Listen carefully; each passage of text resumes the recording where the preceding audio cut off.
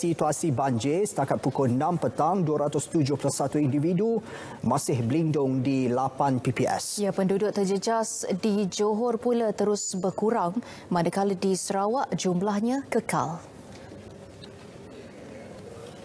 Tujuh daripada lapan PPS dibuka di Johor. Ia menempatkan 227 individu terjejas daripada 67 keluarga. Situasi banjir di negeri itu semakin pulih berikutan cuaca panas berterusan sepanjang minggu ini.